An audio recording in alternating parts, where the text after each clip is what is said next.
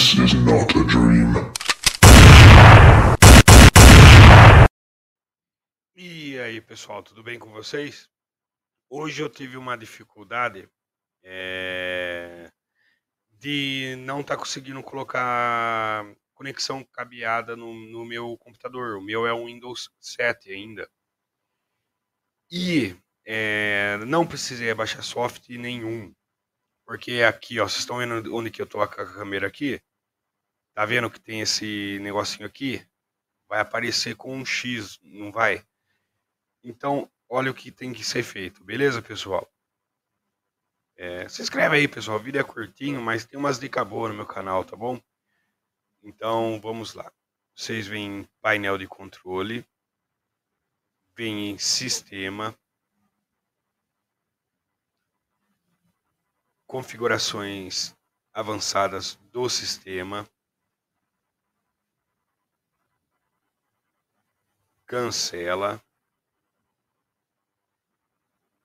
gerenciar dispositivos.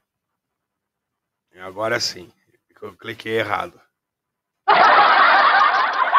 Ó, aqui, ó, pessoal, adaptador de rede. Vocês estão vendo aqui o J micro, PC Express, blá blá blá blá blá blá. Vai estar tá aqui, ó, com esse ícone aqui, ponto de exclamação.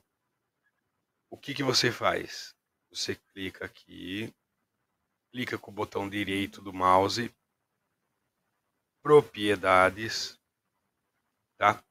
Aqui eu creio que os seus aqui, ó, tipo, esse dispositivo está funcionando corretamente, vai estar tá outra frase.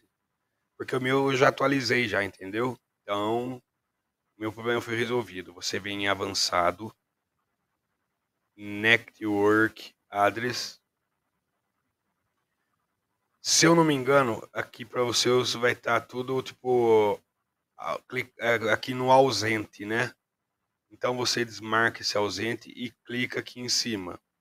Vai ter um monte de zero aqui, como que está no meu, certo? O que, que você faz? Você apaga o último zero e coloca o número 5. Aí, feito isso, pessoal, já vai voltar já. Fiquem tranquilos, beleza, pessoal? Espero que tenham gostado da dica. Muito obrigado de ter assistido até aqui e até mais.